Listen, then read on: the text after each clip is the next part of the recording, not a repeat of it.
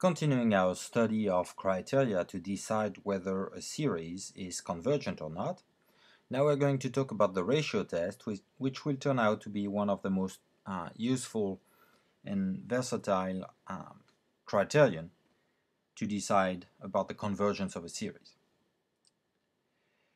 One of the first kind of series that we looked at and where it was easy to decide the convergence was geometric series. In other words, things of the form a constant times power of a fixed number. Um, so in standard form a times r to the n minus 1, where r is the so-called common ratio, and we take the series with this general term, and the series is convergent exactly when the common ratio has absolute value strictly less than 1.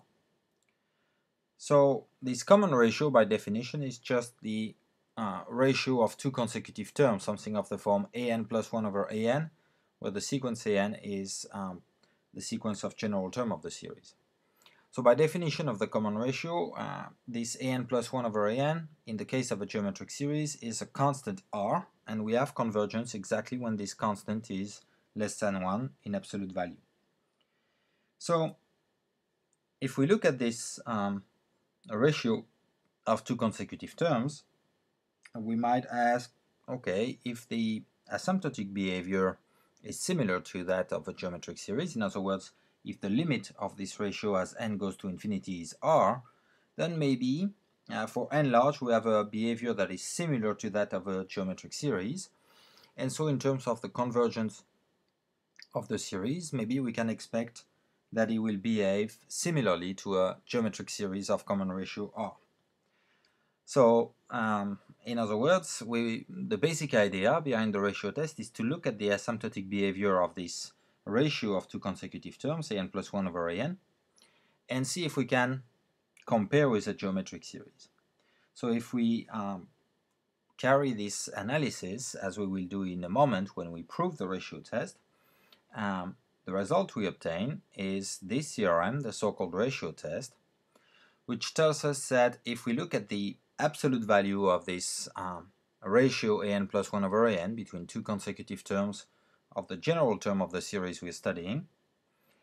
And if um, this absolute value of the ratio has a limit, and this limit is strictly less than 1, then the series is absolutely convergent. So this is a criterion for absolute convergence, which of course is stronger than convergence. So this is similar to the behavior of a geometric series, right? If this ratio uh, goes to a limit less than 1, in the case of a geometric series, uh, this ratio would be constant, then we would have convergence when this uh, constant is less than 1. Here we are looking at the limit, and when it's less than 1, we have convergence.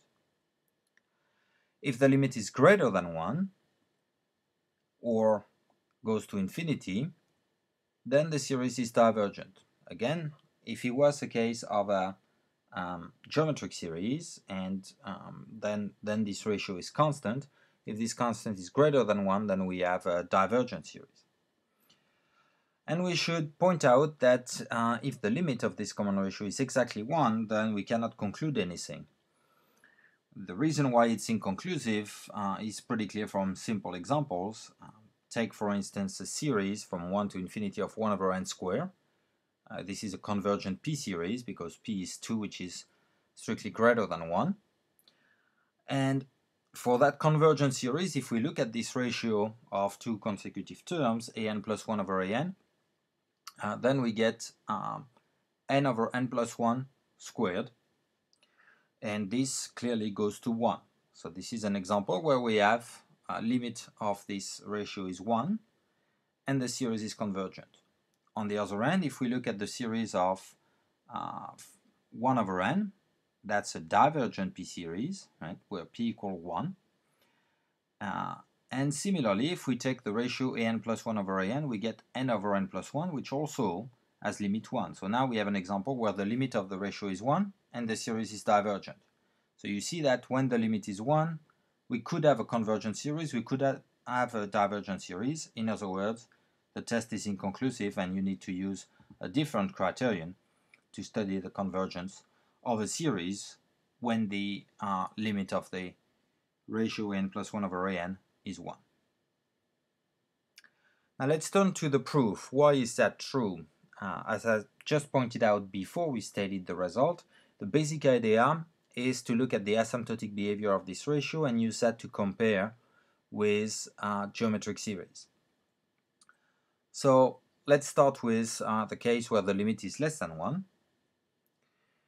Then if L, the limit of this absolute value of the ratio n plus 1 over n is less than 1, I can find a number r that is strictly be between L and 1.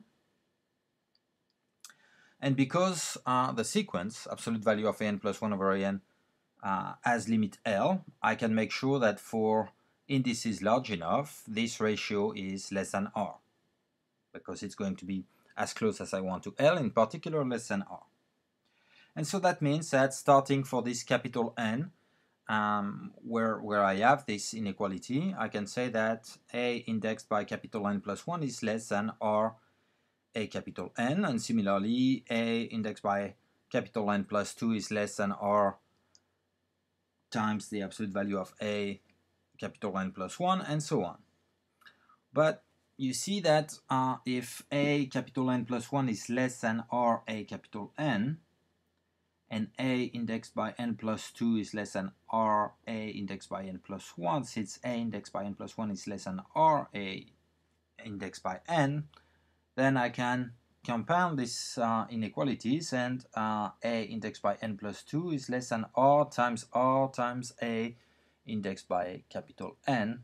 So I get that this is less than r squared a index by capital N. Similarly, A index by n plus 3 is less than R A index by n plus 2, the previous one, which we have shown to be less than R squared A index by n, so we get that A indexed by n plus 3 is less than R cube A indexed by n.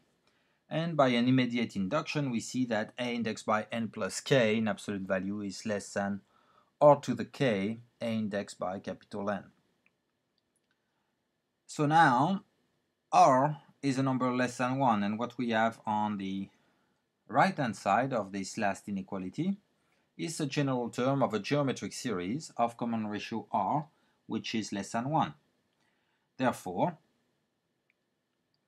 uh, we see that because this geometric series of common ratio r is convergent, it's a convergent geometric series, um, then by comparison we can conclude that the series from 1 to infinity of this absolute value of a indexed by capital N plus k is convergent.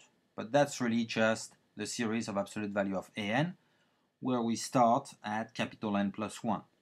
But if this is convergent, then adding just the first few terms, specifically the first capital N terms, is not going to change the convergence. We just add a finite number of terms then we conclude that uh, the series from 1 to infinity of absolute value of an is convergent. In other words, series of an is absolutely convergent. Turning to the second case, where the limit is greater than 1, well, you can probably guess what we're going to do, something very similar. Uh, we pick an r that is between L and 1, and we're going to compare uh, our series with um, the geometric series of common ratio R, which is this time going to be divergent. Specifically, since uh, L is the limit of our ratio, for indices large enough, we can make this ratio greater than R, because we can make it as close as we want to capital L. And therefore, uh, just with the same argument that we went through uh, in case 1, we get that for every integer k, positive integer k, we get that the absolute value of a indexed by capital N plus k is greater than r to the k multiplied by the absolute value of a indexed by capital N. But now the sequence on the right on the right hand side, uh, if r is greater than 1, then r to the k goes to infinity. And therefore, absolute value of a indexed by capital N plus k is a sequence that goes to infinity as well because it is greater than the sequence going to infinity. And so that means that the absolute values, the sequence of absolute value of the general term an goes to infinity. But then that means that definitely the uh, general term an has to be divergent because if the absolute value goes to positive infinity, that means um, the um, terms an are um, either always positive large or negative large or alternating between positive large and negative large. In any case, they do not they do not approach a fixed value. And if the sequence of general term an is divergent, in particular it is not converging to zero, and therefore by the nth term test we can conclude that the series is divergent.